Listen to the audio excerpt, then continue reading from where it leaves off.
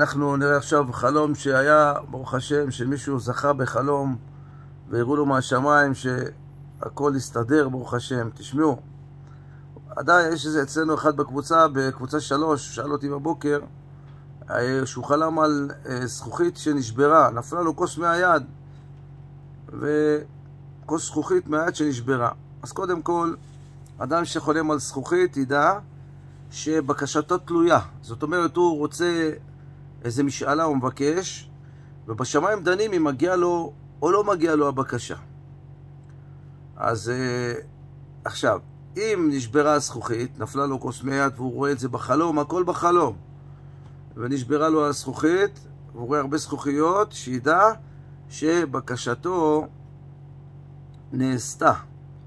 אני רק אגלה לכם, הבחור בן 35, כבר עשר שנים מחפש אישה.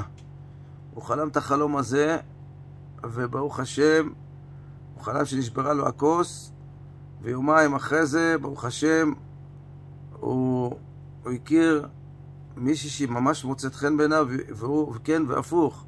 הוא מוצא חן בעיניה והפוך.